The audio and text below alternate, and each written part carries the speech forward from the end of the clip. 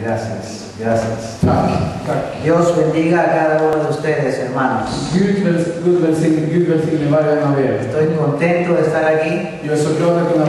Mientras estaba sentado adorando a Dios o de pie adorando prisade Herren. muchas cosas venían a mi mente y a mi corazón. Me siento privilegiado de estar en este lugar. Hemos entendido hace un año atrás que Dios tenía un propósito con este momento. Y yo sé que hay algunos de los que están aquí que tal vez no saben por qué han venido. Er Pero quiero decirte que Dios te quiere entregar una palabra del reino. Yo no sé si me escuchaste. Dios quiere entregarte una palabra del reino. Y estoy seguro de que cada uno de ustedes, el día sábado cuando nos despidamos después del almuerzo, van a salir cambiados y renovados por el poder del Espíritu Santo de Dios. ¿Cuánto pueden creer eso? ¿Cuánto creen que Dios puede cambiar las vidas? Hay alguien aquí que diga, yo creo que Dios cambia vidas.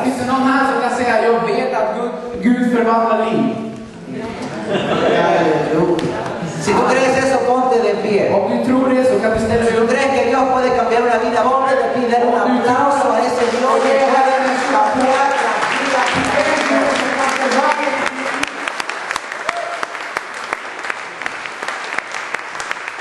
Yo me siento, ¿puedo- puedo decir esta canción?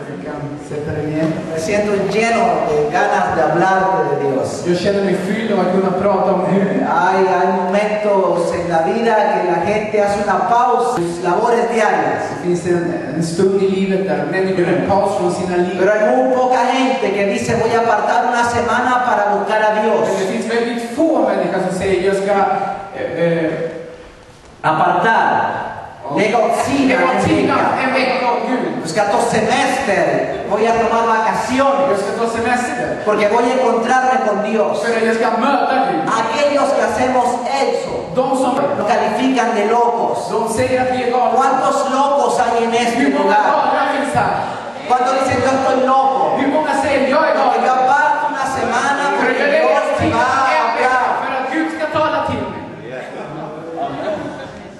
Tú le cuentas a la gente que el trabajo que te vas una semana con la iglesia. Eres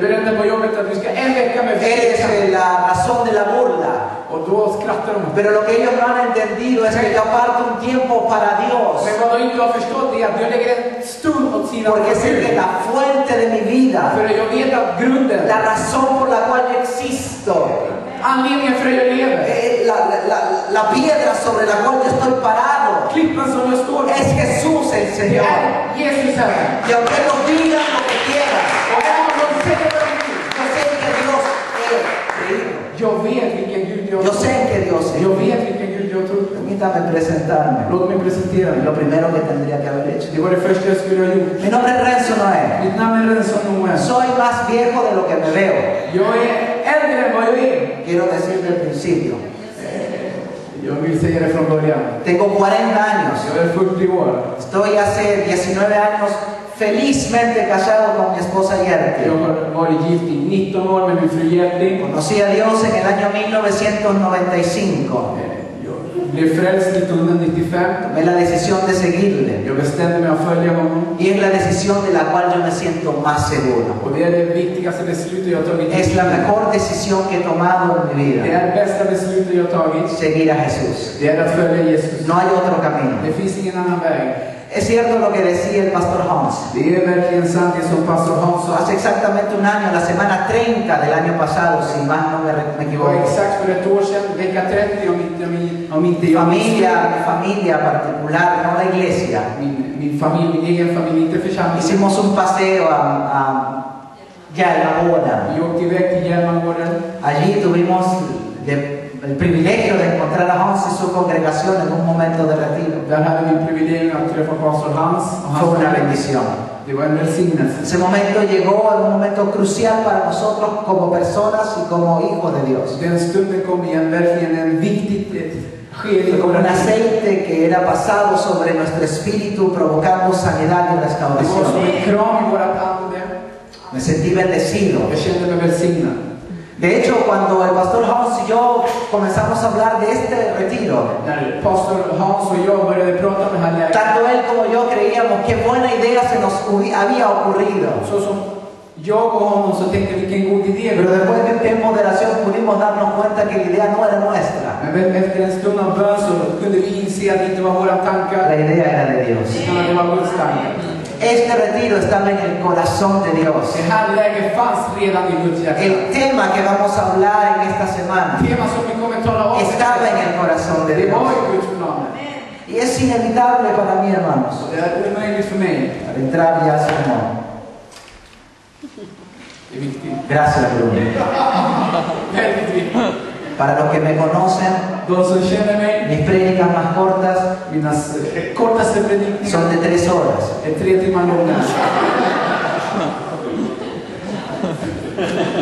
Los traductores llegan a caerse desmayados y enfermarse dos semanas luego de. Voy a tratar de mantenerme dentro de los límites de salud mental.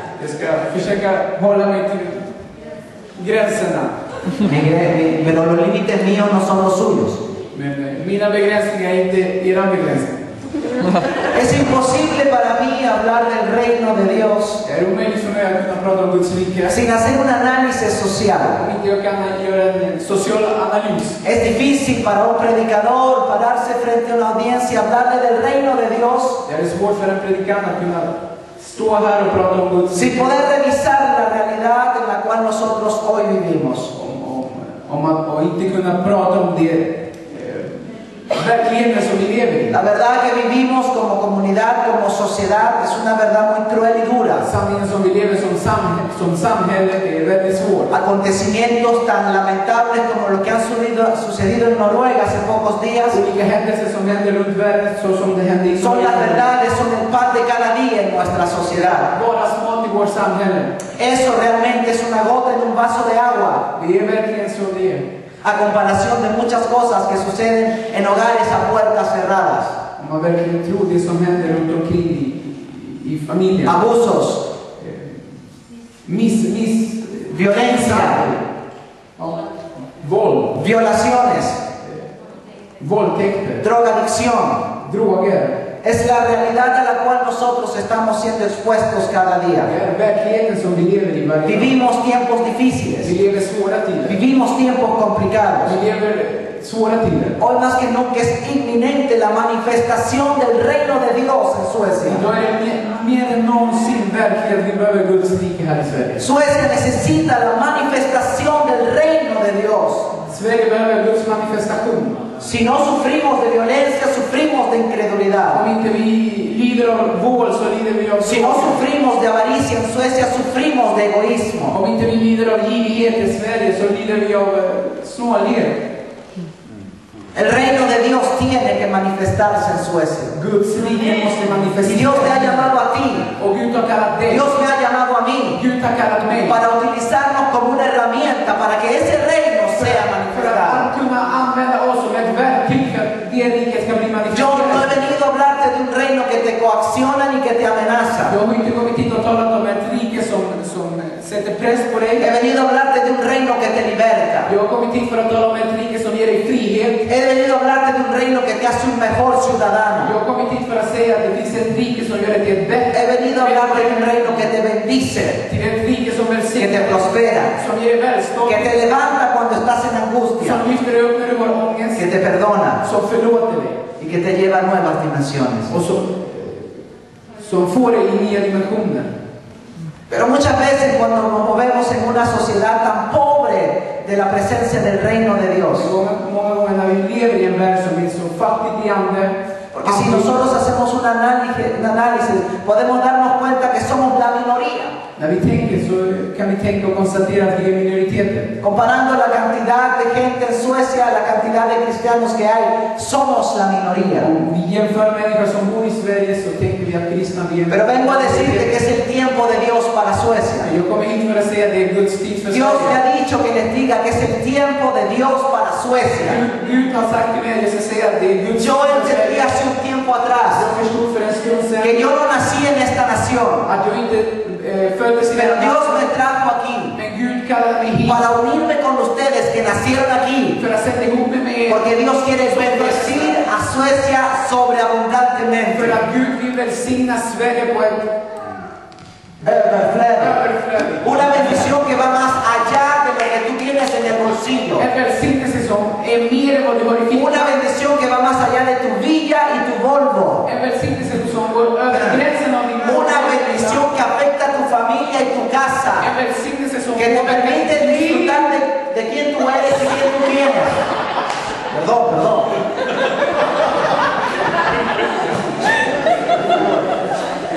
Jag måste. Jag vet, jag Annars vet. förstår jag inte. Jag vet. Det har- det har man bra hand.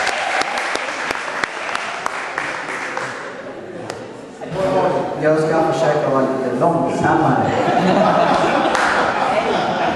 Jag lovar inte det. Vi gör det bästa av situationen. Dios quiere bendecirnos más allá de lo que tenemos. Gud vill välsigna dig mer än vad du har. Dios quiere bendecirnos por lo que somos. Gud vill välsigna oss för de vi är. Esto tiene que quedar claro. Det här måste vi förstå. Porque hay muchos cristianos que viven esperando recibir algo material de Dios. För att Det finns många kristna som lever i en värld som väntar att få någonting ifrån Gud. Pero Dios no quiere darte algo material. Men Gud vill inte ge dig någonting Dios te quiere dar una bendición espiritual. Utan Gud vill ge dig andligt välsignelse. ¿Cuántos quieren ser bendecidos en el espíritu? Hur många vill bli välsignade i ande? En el espíritu. I ande. En el espíritu. En el espíritu. I ande. Porque es el espíritu el que te da la sabiduría. För att det är anden som ger vishet. Porque es el espíritu el que te da la Det paciencia. är anden som ger dig tålamod. Porque es el espíritu el que te da el amor. För att det är anden som ger kärlek. Pero el reino de Dios tiene que ser manifestado. Cuando le hablamos a la gente acerca de Jesús, ellos que no conocen a Jesús se preguntan dónde está ese reino. eh, ¿Cuál es ese reino del que tú me estás hablando? Eh, ¿Cuál es ese rey del que tú predicas al cual no veo? Vem är den där kungen du talar om? Es el reino de Dios. Y la gente de este tiempo quiere poder palpar y ver de lo que estamos hablando. Y lo que talar de ellos. Es que el reino de Dios es algo que no es geográfico. No es una filosofía política. Filosofisk No es un sistema económico. Es la presencia misma de Jesús en la vida del hombre. El reino de Dios no es algo que está relacionado con una cultura, nación o idioma. El reino de Dios no está relacionado a alguna cultura, nación o idioma. El reino de Dios está en los cielos Y ha descendido a la tierra. De hecho, las primeras palabras en el Nuevo Testamento que hacen referencia al reino de Dios son pronunciadas por Juan el Bautista, döparen. donde dice, el reino de Dios se ha acercado. El reino de Dios, yo no voy a Él, Él viene a mí. Y yo quiero decirte que el reino de Dios ha llegado a tu vida. Kommit. El reino de Dios ya está aquí. El reino de Dios ya llegó. No, no, no, no, no. Nosotros los cristianos no estamos esperando que llegue. El reino ya está aquí. Utan Guds rike är Él redan ya här. me invadió. Han har redan Él kommit. ya se me metió por dentro. Él está aquí. Han är här. Para adelante tú me puedes cortar la cabeza, pero me voy con Dios porque el reino vive en mí. Därifrån så kan du göra vad du vill med mig, utan Guds rike går med mig. Es el reino de Dios. Yo creo que muchos de nosotros aquí sabemos de dónde venimos, cuál era nuestra vida antes de llegar a Jesús. många av oss här kan vet, vet bättre än oss var du kommer ifrån innan du blev frälst. Yo no nací en un hogar cristiano, hermano. Jag, jag föddes inte i ett kristet hem. Yo llegué a los 24 a Cristo. Jag kom till Jesus när jag var 24 år. Después me aparté de Cristo. Yo, yo, yo sé lo que es vivir sin Cristo. Yo sé lo que es capaz de hacer un hombre sin Cristo. Yo sé los comportamientos que desarrolla un hombre sin Cristo. Vet vilka sätt att leva vi har Kristus. Pero también sé cómo un hombre puede ser transformado por la presencia de Jesús. ¿Cuál es el reino de Dios? ¿Dónde está el reino de Dios? Tú eres el reino de Dios. Tú representas al reino de Dios. Tú eres un ciudadano del reino de Dios. Y esta, esta primera reunión es muy importante. Viktigt. Yo no sé por qué a Dios le quiso que fuera yo el que predicara. Jag vet inte varför Gud ville att jag skulle vara den första. Pero quiero ser responsable porque es importante que tú entiendas que perteneces a la ciudadanía del cielo. Jag vill vara ansvarig och säga att du verkligen tillhör Guds Es bueno aplaudir a cuántos suecos vinieron y cuántos chilenos están aquí. Pero también quiero que tú le des un aplauso a la ciudadanía del cielo. ¿Cuántos de aquí pertenecen al cielo? ¿Cuántos son ciudadanos del cielo aquí? ¿Cuántos dicen yo soy ciudadano del cielo? Nací en Suecia, sí. Yo nací en Perú. Pero mi ciudadanía está en el cielo. är i himlen.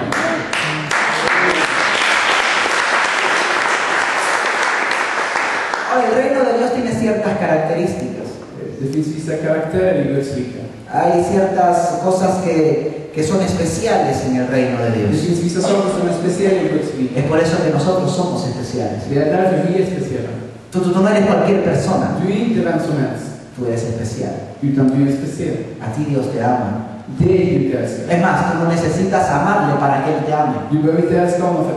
Es más, en ese momento de tu vida cuando tú menos le amabas, Él te amaba más que nunca. Och är när du minst älskade honom, det är då han älskar dig som mest. Eh, tú por Dios no necesitas hacer esfuerzos, Él te ama como tú eres. Du behöver inte göra någonting för Gud, utan han älskar dig så som du är. Y a veces hay que desenmascarar a esos predicadores que están poniendo exigencia en la gente. Och ibland så måste vi tänka på de predikanter som predikar och säger Exigen a la gente, kräver kräver att människor ska göra vissa saker för att Gud ska älska dem. att vi... Ja, precis. A veces me sale el sueño. Det på svenska. El reino de Dios tiene ciertas características. El reino de Dios es un reino de poder.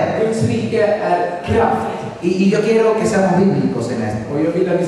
Por eso acompañen a Primera de Corintios, capítulo 4. Till kapitel 1. Kapitel 4. Primera de Corintios, capítulo 4, Första Korinthierbrevet kapitel 4. 19 y 20. Vers 19 och 20. Då står det så här. Men jag kommer snart till er, om Herren vill, och då får jag veta hur det ligger till. Inte med orden, utan med kraften hos dessa uppblåsta människor. Ty Guds rike består inte i ord, utan i kraft. Dice, pero iré pronto a vosotros si el Señor quiere y conoceré no las palabras, sino el poder de los que andan envanecidos, porque el reino de Dios no consiste en palabras, sino en poder. El reino de Dios es poder. Kraft. Por eso es que nosotros podemos eh, tener la autoridad para echar fuera demonios, para vencer nuestras dificultades, för att övervinna våra porque hemos sido investidos de poder. El reino de Dios es poder. Kraft. Por eso es que los cristianos somos gente que tenemos autoridad. Ahora, aquí hay cristianos que no han podido tomar esa autoridad, es otra cosa.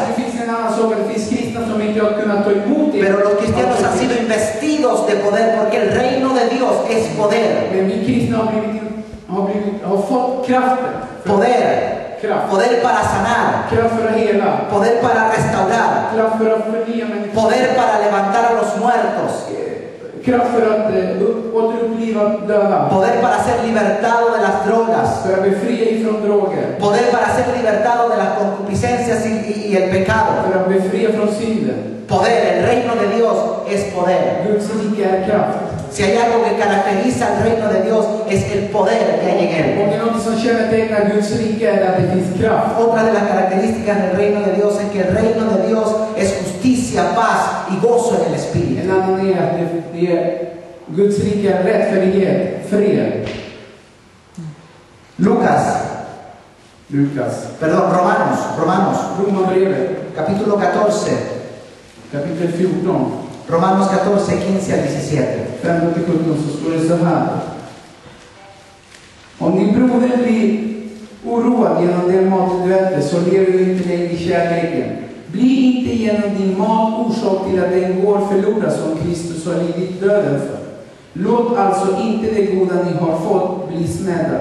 Ty Guds rike består inte i mat och dryck utan i rättfärdighet och frid och glädje i den heliga Ande. Pero si por causa de la comida de tu hermano, tu hermano es conquistado, ya no andas conforme al amor. No hagas que por la comida tuya se pierda aquel por quien Cristo murió. No sea pues vituperiado vuestro bien, porque el reino de Dios no es comida ni bebida, sino justicia, paz y gozo en el Espíritu Santo. El reino de Dios es justicia, paz y gozo en el Espíritu Santo.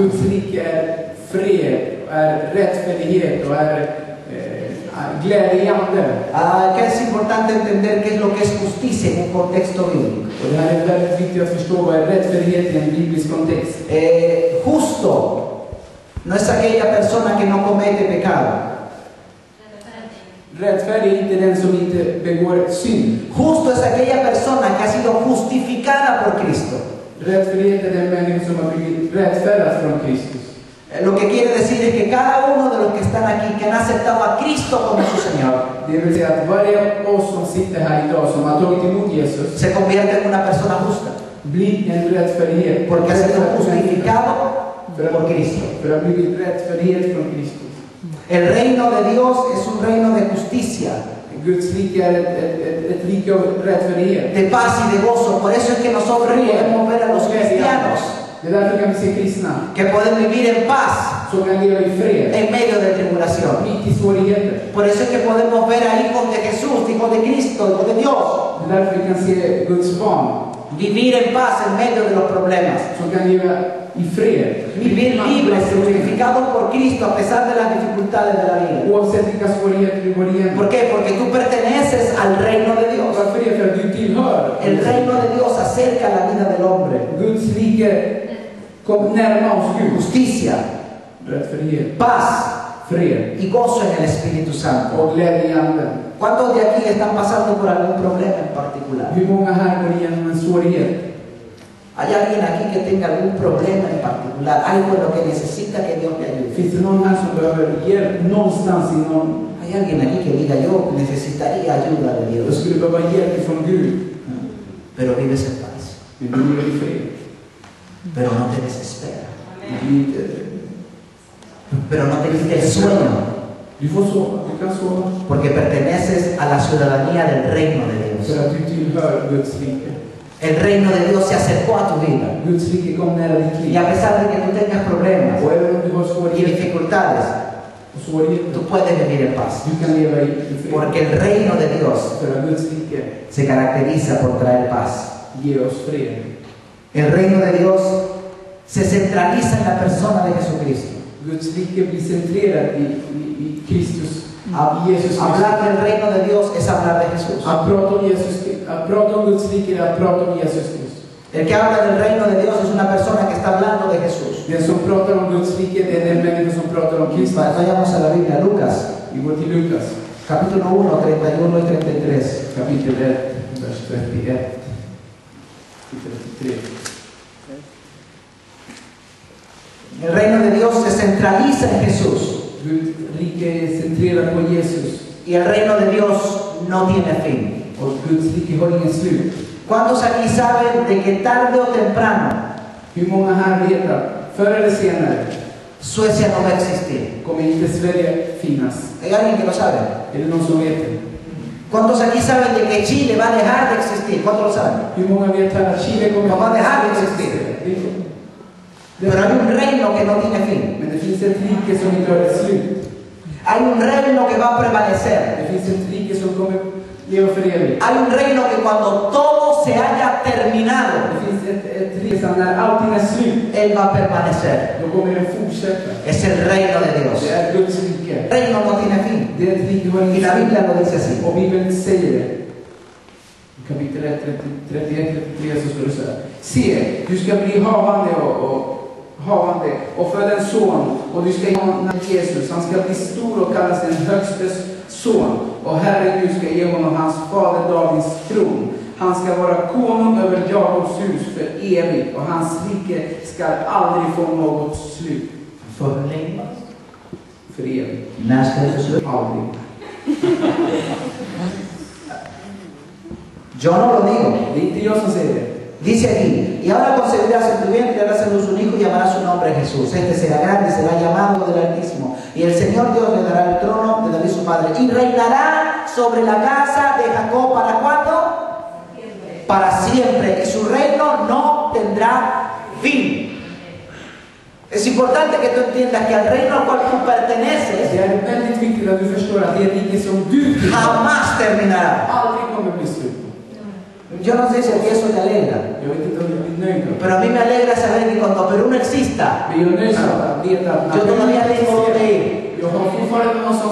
¿Se está entendiendo, no? Que cuando Suecia ya no exista, tú todavía tienes donde ir. Porque tienes un reino que es eterno. Perteneces a un reino que es eterno.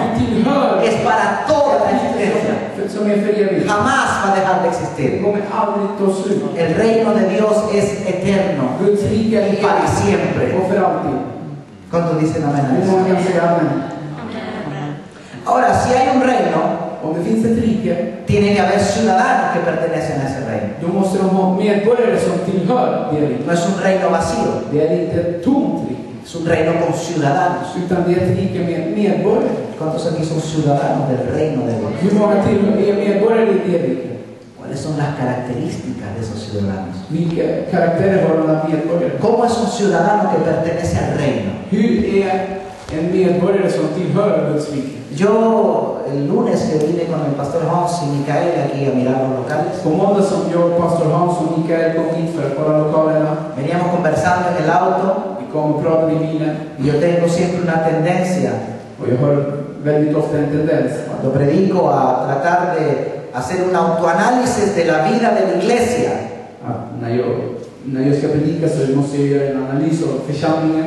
Eh, porque es bueno motivar a la iglesia, pero es necesario también que fijemos nuestra vista en nuestros defectos y poder mejorar. Porque la mejor, la, la más importante misión que tenemos es la predicación del reino. No nos podemos conformarnos con haberlo recibido. Tenemos que entregarlo. Y la iglesia debe estar preparada. Entonces, ¿cómo debe de ser un ciudadano del reino? Porque tú no eres ciudadano del reino únicamente cuando estás el domingo en la iglesia. Söndagen. Tú eres un ciudadano del reino donde quiera que te encuentres. Utan du tillhör Guds rike var du än befinner dig. En tu familia, I din familj, en tu trabajo, på ditt jobb, en tu tiempo libre. på din fritid. ¿Cómo es tu comportamiento en esos lugares? Hur beter du dig på de platserna? ¿Tienes comportamiento de un ciudadano del reino? Är du verkligen som en, har du beteende som en, ett, som tillhör Guds rike? ¿Cómo debo yo entonces comportarme si pertenezco a la ciudadanía de Dios? Hur ska jag kunna vara när jag, om jag tillhör Guds rike? Un ciudadano del reino es una persona que es completamente, que es completamente dispuesta a negarse a sí misma. En, en som tillhör Guds rike är en, en som 100% nekar sig själv. No es una persona egocéntrica, Det är inte en egocentrisk människa. no es una persona egoísta, Det är inte någon egoistisk människa. es una persona que está dispuesta a negarse a sí mismo para el bien de otro. utan det är någon som är beredd att ge sig själv för någon annan. Y hay una descripción en la Biblia, en Mateo 16, 34. Vi kan läsa i Matteus evangelium kapitel Palabras de 16. Jesús mismo, Jesus själv som sa det. Que nos da las características de un ciudadano del reino. Som visar oss hur en, en som tillhör Guds rike kan vara. 16.24 så står det så här.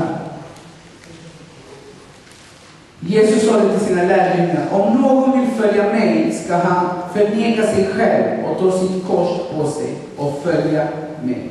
Entonces Jesús dijo a sus discípulos, Jesus så här. si alguno quiere venir en pos de mí, Om någon ska följa mig niéguese a sí mismo ska han förneka sig själv y tome su cruz och ta sitt kors y sígame. och följa mig. Un ciudadano del reino es una persona que se niega a sí mismo. En som tillhör Guds rike är någon som förnekar sig själv. Que el centro de su vida no está en él, está en Jesús. Som centrum i sitt liv är inte i sig själv utan i Jesus. Que sus razonamientos siempre van en línea a lo que Jesús ha dicho. Att sina tankar är alltid med det som Jesus har sagt. Está dispuesto a ser un creyente del reino donde quiera que se encuentre. Han är beredd att vara en som tillhör Guds rike, var än den befinner Que la verdad es que muchos de nosotros los cristianos tenemos tendencia a ser buenos con los cristianos, För att många av oss har tendensen att kunna vara goda med de kristna. pero tenemos que ser buenos con los que no conocen a Cristo también. måste vara goda med de som Porque son ellos los que necesitan la palabra del För att reino. det är de som behöver Guds rike. Son ellos los que necesitan el testimonio del reino en Suecia. Tenemos que aprender a negarnos a nosotros mismos, a tomar nuestra cruz. Esto de seguir a Cristo no es lo más fácil. Pertenecer al reino de Dios no es lo más fácil. Es lo más seguro, det säkraste. pero no es lo más fácil. Eso implica sacrificio, där offringar. eh, offringen. Mitt ordförråd på svenska, det är Jag blir förvånad själv. El, el- el reino de Dios, eh, Guds rike. eh, el, el- el- el ciudadano del reino, es una persona que, que está dispuesta a negarse a sí misma. Hermanos, ¿cuánta gente tienes tú en tu trabajo, en tus relaciones privadas, a las cuales tenemos que testificar del, del- del- del reino de Dios?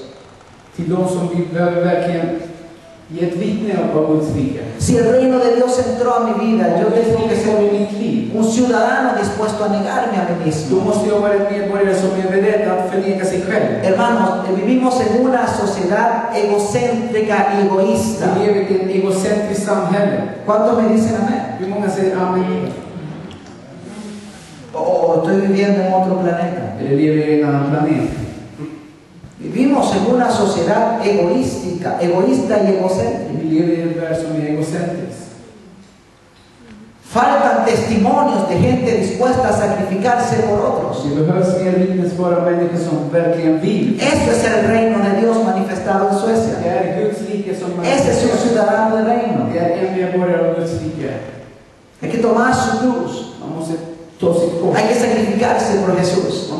Hay que hacer esfuerzo por Jesús. Jesús lo dijo. El que me quiera seguir, niéguese a sí mismo. Tome su cruz y siga. Dios no nos ha traído aquí a perder el tiempo. Nos ha traído a entregarnos una palabra del reino. No es fácil siempre negarse por otras personas, Det är inte alltid lätt att neka sig för andra människor. pero es el consejo de Jesús. Men det är det som Gud säger.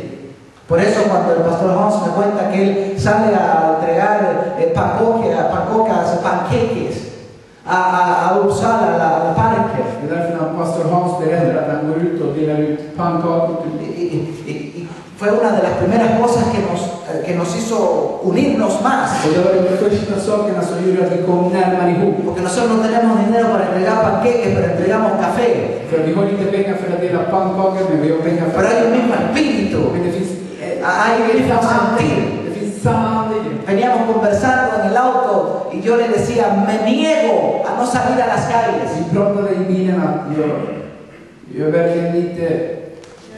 Yo vägrar, Jo, jag vägrar. yo vägrar Jag vägrar. a salir a las calles, a no salir a la vägrar att calle. inte gå ut på gatorna. Me niego a no salir, Jag vägrar att inte gå ut på porque los que están en la iglesia están salvos, conocen a Cristo. För de som är i församlingen är frälsta, de Los que no conocen a Cristo son los que están afuera. De som inte känner Gud är de som är där ute. Por eso la iglesia tiene que estar Det är afuera. därför församlingen måste vara ute. Eso implica sacrificio. Men det, det, det begär offringar från oss. Blanca, el anciano. Vår syster Blanca, Hans, lo ha pasado. Hans, 20 grados bajo cero entregando café. minus 20 grader delar kaffe. hay que tener la sonrisa, no Dios te bendiga. Man måste ha ett leende, Gud välsigne dig. Y después para que se te vaya la sonrisa tienes que prenderte la ducha con agua caliente porque ya has pegado. Och sen för att skrattet ska gå bort så måste du gå in i värme. Pero a eso nos llamó Jesús. Det är det som Gud har kallat oss. la gente, a negarnos a nosotros mismos. Eso es el reino. Det är det som Eso es reino. Det är det som är Guds rike. El, el ciudadano del reino es una persona que tiene plena disposición a mantener la mirada puesta en las cosas eternas. Det som tillhör Guds rike är de som är beredda att kunna se på det som är evigt.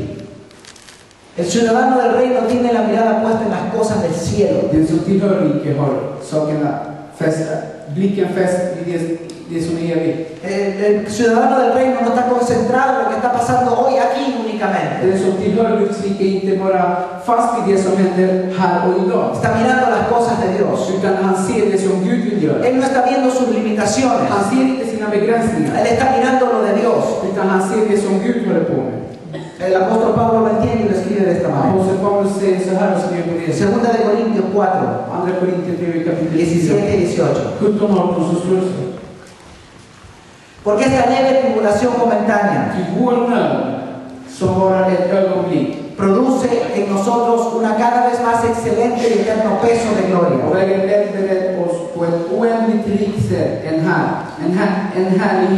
No mirando nosotros las cosas que se ven, Sino las que no se ven. Pues las cosas que se ven son temporales, pero las que no se ven son eternas. är evigt. Los ciudadanos del reino miramos las cosas del cielo.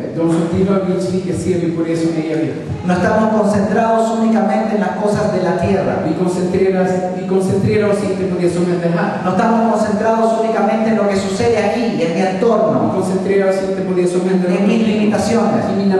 Es por eso que hay hombres como el pastor Hans que pueden soñar en grande. Porque aunque no se vea grande, Dios ya está haciendo las cosas grandes en lo que no se ve. Någonting stort. Eh, personas como él no son gente que quiere mucha gente para su iglesia. Son gente que quiere mucha gente para Dios. ¿Cuántos aquí quieren muchos para Dios? Ciudadanos del reino tenemos que mantener las cosas en las cosas del cielo, a mirar las cosas de Dios. Guds rike måste se det som evigt. Las cosas de Dios. Och Esta leve tribulación momentánea, dice el apóstol Pablo. Den här eh, s- lilla i nöden. Som Estos problemas que estás pasando hoy de små problemen som går igenom. son pasajeros. De, de, de tar slut. De, Van a terminar.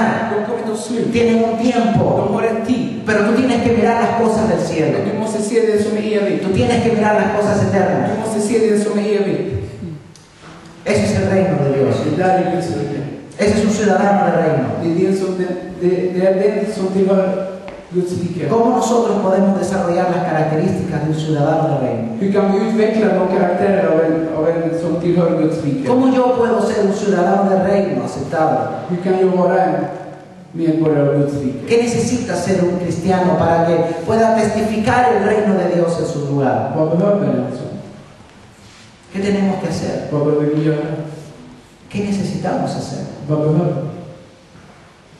Número uno, el creyente que quiere desarrollar estas características de ciudadano del reino en, en, en kristen som vill utveckla sitt, sitt, eh, sitt medborgarskap i Guds rike måste necesita tener una relación íntima con Dios. behöver ha en intim relation med Gud. Una relación íntima con Dios. En intim relation med Gud. El Ya hay demasiados cristianos Det finns många kristna. que la única relación que tienen con Dios, Att den enda relationen som de har med Gud, con suerte, med tur, es cuando bendicen los alimentos de comerse. är när man välsignar maten innan man äter. Hmm. Tenemos que tener una relación íntima con Dios. Vi behöver ha en intim relation med Gud. Es allí, es allí que está la fuente. Det är där som grunden finns. Es allí donde yo encuentro la motivación. La, la palabra es revelada ante mis ojos. Y en la oración, en la conversación con Dios, en mi intimidad, que yo puedo descubrir y ser motivado a servir kan få kraft.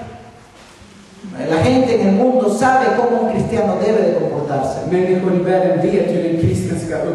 Pero ¿cómo me comporto si no lo sé? ¿Y cómo, no, ¿Y cómo lo sé si no me encuentro con mi padre? Yo necesito tener una relación íntima. Número dos, la vida de oración, la vida de adoración de un creyente es importantísima. En kristens tillbedjan är väldigt Y hay que entender lo que es adoración. Och det är väldigt viktigt att förstå vad tillbedjan Porque lo que hemos hecho aquí För det som vi har gjort här, no es únicamente adoración. det är inte bara... Esta es una forma de adorar. Det här är en del om, om hur man kan tillbe. ¿Se está entendiendo? Förstår ni? Esta es una forma de adorar. Pero tu vida es una alabanza y una adoración al Señor. Una persona, un creyente con una vida de adoración genuina. Es una persona que en su adoración tiene comportamientos que se alinean al reino.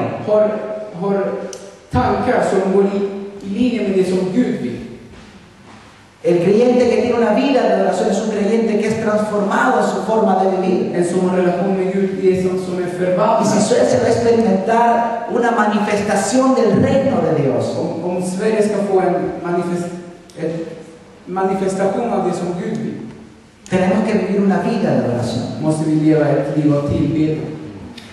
Es, es, es, es tan agradable a Dios que tú levantes tu mano en el momento de la alabanza. Är du drar upp dina händer i tillbedjan, Como que cuando vas por la calle, al que está delante se le cae un billete de 500 y tú corres para devolvérselo. det är på samma sätt om du går bakom en som tappar en 500-lapp och du går tillbaks och du går fram till honom och ger tillbaks den. Para Dios es tan agradable esto För Gud är como eso. mycket. Det, Eso también es adorar al Señor. det är också att tillbe här. La vida de adoración es la que cambia nuestros patrones de comportamiento. Guds, Guds eh, relation med Gud är det som förändrar våra liv. Vårt sätt att leva. Número tres, la lectura de las escrituras nos permite conocer qué es lo que Dios quiere de nosotros. Läsningen av skriften låter oss veta vad Gud vill från oss. Y yo soy uno de los pastores de Estocolmo, latinos al menos, Och jag är en av pastorerna. Que- I alla que- fall, que, que yo pienso que es el tiempo que se predique no únicamente de las promesas de Dios, sino de lo que Dios demanda de nosotros. utan jag är en av dem som vill att den ska, det ska inte predikas bara det som du kan få från Gud, utan det som du kan göra för Gud. ¿Qué Dios espera de mí? Vad förväntar sig Gud av mig? ¿Qué Dios quiere de mí? Vad vill Gud mig? Suecia necesita experimentar la manifestación del reino de Dios. Gud, Sverige behöver Guds rike. ¿Cómo se va a manifestar? Hur ska det manifesteras? Hmm. La Biblia lo dice de esta manera. ¿Cómo creerán Hur ska de tro si no hay nadie quien les predique? om inte det finns någon som predikar? Si no hay predicar en ese contexto Significa testificar. Lo que él está diciendo es cómo la gente que no conoce el reino Hur de människor som inte känner riket va a conocerlo si no hay nadie que testifique del reino. ska lära känna om inte någon predikar. Y yo como extranjero lo puedo decir. Och jag som, som, Y muchos de los extranjeros que estamos aquí lo pueden porque yo no vine a Suecia a convertirme a Cristo. Cuando llegué a los 20 años vine para hacerme rico. När jag kom när jag var 20 år så kom jag hit för att bli rik. Ese era mi plan. ¿Por qué? Porque averigüé, jag undersökte. Suecia es un buen país, la gente es honesta, La gente es buena, är snälla. la- el, el sistema funciona. Systemet A ese país quiero ir. Det landet vill jag vara. ¿Cómo la gente que no conoce el reino Hur människor som inte känner va a querer llegar al reino ska vilja komma till Guds si los ciudadanos del reino no testifican del reino? Om de som tillhör Guds rike inte predikar om Guds rike. Si lo que vende en nosotros es egoísmo, Om det som de ser ifrån oss det är att vi är si lo que vende en nosotros es envidia, och Att vi är avundsjuka på varandra. no es extraño que no quieran venir. Det är inte, lätt, det är inte konstigt att de inte Pero si nosotros podemos testificar del reino, de los principios del reino, Om vi kan ge vittnesbörd om, om, det- om Guds rike, ellos van a decir como Renzo cuando tenía 20 años, då kan man säga så som den som när han var 20. a ese reino quiero yo pertenecer. Till det riket vill jag tillhöra. A ese reino yo me quiero asociar. A ese país yo me quiero mudar. Tenemos un llamado, es predicar el reino. No hemos sido escogidos simplemente para pertenecer a una congregación. Hemos sido escogidos para predicar el reino de Dios. ¿Cuántos aquí quieren predicar el reino? De Dios? ¿Cuántos quieren testificar el reino? Rike? någon här som vill verkligen vittna om Guds rike i Sverige? Är det någon som längtar efter det? Verkligen predika Guds que rike. realmente diga yo quiero predicar el evangelio. Behöver inte. Yo necesito la iglesia. Jag ska leva som en medborgare i riket. Y voy a vivir como Är det någon som säger ciudadano det? del reino. Är det någon som säger, "Renzo, jag är en utav dem. Renzo, yo soy uno de ellos. Yo på svenska också. du. Predicando en suerte. Ya quiero terminar. El reino de Dios no es un lugar geográfico. Al reino de Dios no lo estamos esperando. El reino de Dios ya llegó. El reino de Dios está aquí. Guds rike är här. Amen. Amen. El reino, eh, hermano, el reino de Dios está aquí. Ya llegó. Ya llegó, ya llegó. Ya llegó, ya llegó. Está aquí. Está aquí. Aleluya. El reino de Dios cambia las vidas, hermanos. Guds rike förvandlar människoliv. ¿Cuántos pueden decir que he sido cambiado por ese reino? Hur många kan säga jag blev förvandlad av det riket? Cuenta la Biblia que el apóstol Pablo, Bibeln säger att aposteln un Paulus, conocedor de las en escrituras, som visste skrift, en determinado momento cuando el reino llegó a su vida, i en stund när Guds rike kom till sin, no antes, inte innan, cuando el reino llegó, när Guds rike kom, cuando el reino le invadió, när Guds rike kom in i hans liv, cuando el reino se metió dentro de él, él pudo decir todo lo que había aprendido todo lo que yo sabía, lo tengo por basura, porque el reino llegó a mí. Ahora puedo entender, ahora puedo comprender. El reino ha llegado a tu vida, El reino está aquí. Y nosotros tenemos una misión, predicar ese reino. Predicar ese reino a Suecia. Por eso yo recuerdo, hoy día estaba aquí, lloraba incluso por eso. Eh, en nuestra congregación, hace ya un año atrás, empezamos a traducir las predicaciones así, Började tolka predikningar så som vi gör, idag. sin entender por qué. Utan att förstå varför. Muchos hermanos, incluso algunos están sentados aquí hoy, Många bröder som kanske sitter här idag. dijeron, ¿qué ridiculez es esa? Vilket skämt. Acá no hay ningún sueco. Det finns inte en enda svensk. Pero a Bruno le sirvió de entrenamiento. Porque ahora estamos entre suecos predicando un reino que no tiene nacionalidad. Porque déjame decirle a los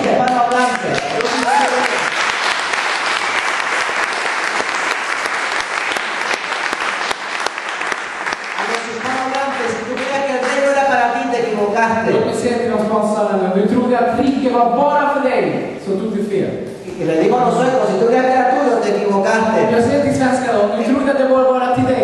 Este es un reino sin nacionalidades, sin limitaciones geográficas, sin tiempos, sin idiomas.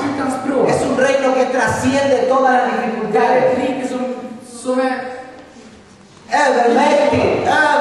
rike